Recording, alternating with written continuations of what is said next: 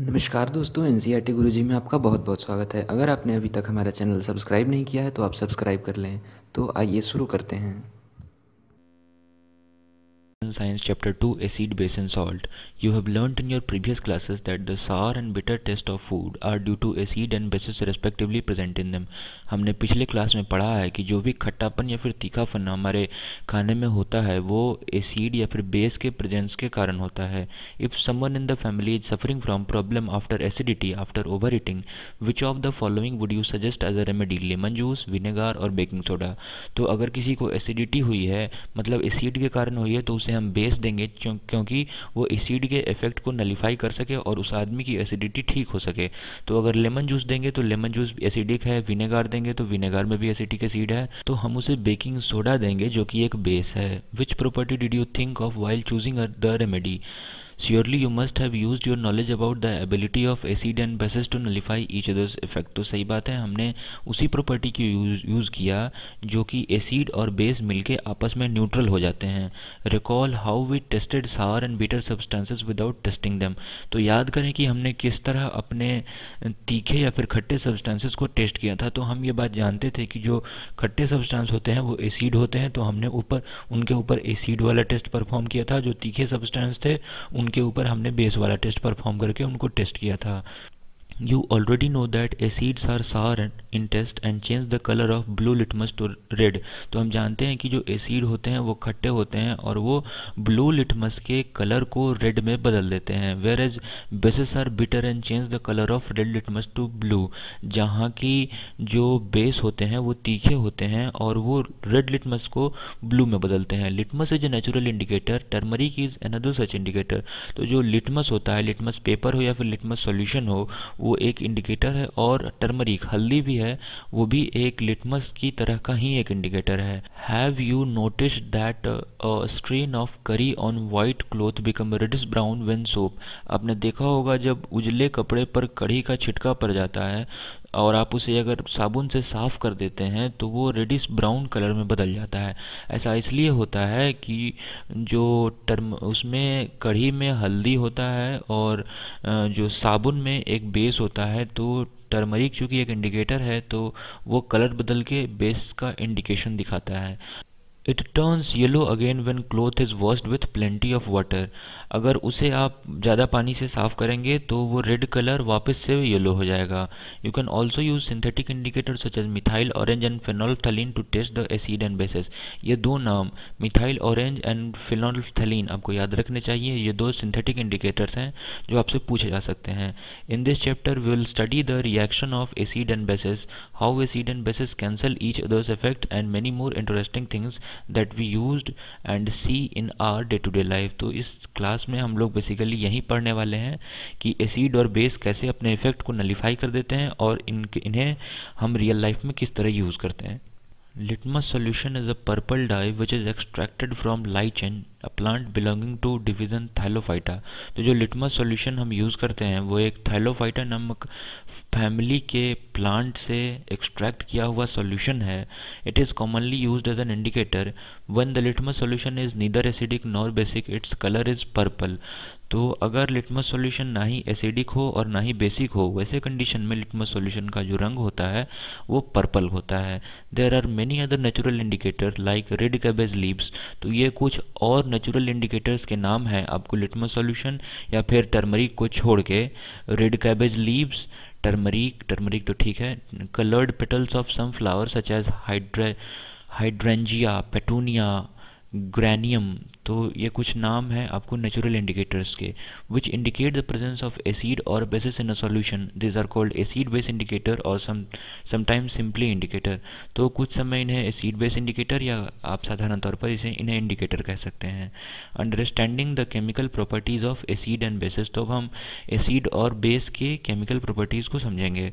Collect the ये activity है 2.1 collect the following sample from science laboratory hydrochloric acid sulphuric acid nitric acid, acetic acid तो कुछ acid और base के sample आपको दे रखे हैं, जिनको आपको लैब से लेना है।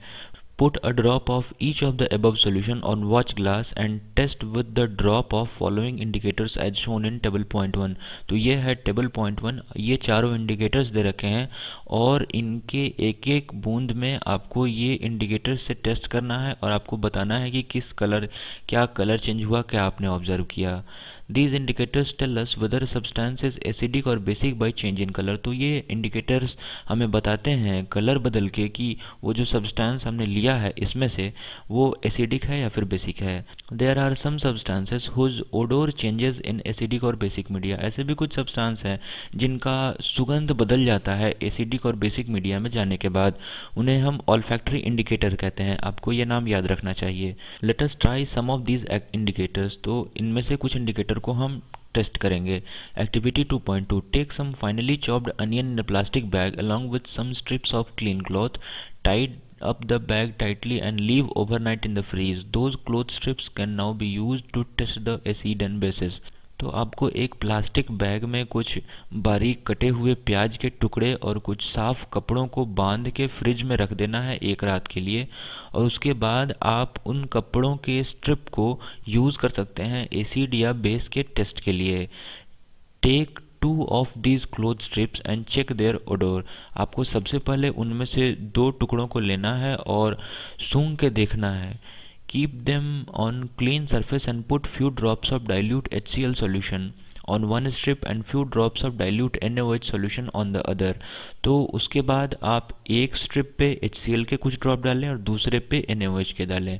मैं आपको बता दूँ एच सी एल एसिड है एन ओ एच बेस है। आप अगर अलग अलग ट्रिप पे स्ट्रिप पे आप अगर अलग अलग स्ट्रिप पे उनके ड्रॉप्स डालेंगे तो अलग अलग तरह का उनका जो सुगंध है, वो बदलेगा। Rinse both strips with water and again check their odour उसके बाद आप दोनों स्ट्रिप कपड़े के स्ट्रिप को धो लें और उसके बाद आप टेस्ट स्मेल करके देखें कि क्या उनमें कोई बदलाव आया है या नहीं। नोट योर ऑब्जर्वेशंस और आपने क्या ऑब्ज़र्व किया, आप उसे नोट करें। Now take some dilute vanilla essence and clove oil and check their odour ये भी डाइल्यूट वेनिला एसेंस या फिर क्लोव ऑयल ये भी इंडिकेटर है और फैक्ट्री इंडिकेटर हैं, जो अपना स्मेल बदलती हैं एसिड या बेस के कॉन्टेक्ट में आने के बाद।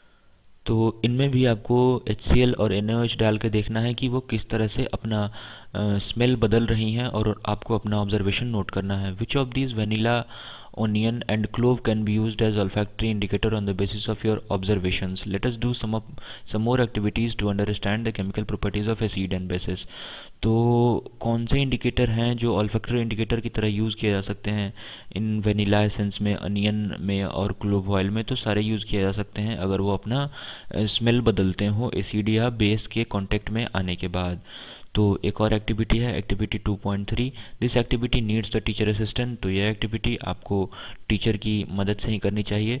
Set the apparatus as shown in figure तो ये फिगर है, इसमें जिस तरह से दिखाया गया है, इस तरह का एक एक अपेरेटस लेना है।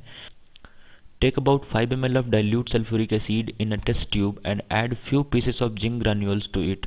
तो एक टेस्ट ट्यूब में आपको 5 ml डाइल्यूट सल्फ्यूरिक एसिड लेना है H2SO4 और इसमें कुछ जिंक के टुकड़े डालने हैं। What do you observe on the surface of zinc granules तो आप देखेंगे कि जिंक ग्रान्यूल्स के सर्फेस पर कुछ बुलबुले आ रहे हैं। Pass the gas being evolved through the soap solution और इसके बाद इससे जो गैस निकले, उनको आपको इस पाइप की मदद से एक सोप सॉल्यूशन में आपको पास करना है। सोप सॉल्यूशन में हम लोग इसलिए पास करते हैं कि जो गैस निकला, वो एक बबल में कैप्चर हो जाए और आगे चल के हम उस पर कुछ टेस्ट कर सकें। Why are the bubbles formed in the soap solution take a burning candle near the gas filled bubble तो जब बबल बन गया, उसके बाद हमें एक जलती हुई मोमबत्ती इसके पास लानी है तो हम देखेंगे कि वह एक पॉप साउंड के साथ bubble फूटेगा। Repeat this activity activity with some more acids like H C L N O three and C H three C O H तो ये एक्टिविटी हमें कुछ और एसिड्स के साथ परफॉर्म करके देखनी है तो आप हर एसिड के साथ पाएँगे कि यही हो रहा है। Are the observation in all the cases the same और डिफरेंट तो हर केस में जो ऑब्जर्वेशन है वो सेम है। यहाँ से कुछ गैस निकलेगी, आप इसे पास करेंगे, या बुलबुले में कैप्चर होगा, इसे आप बर्निंग कैंडल के साथ बर्न करेंगे तो वो पॉप साउंड के साथ बर्न करेगा।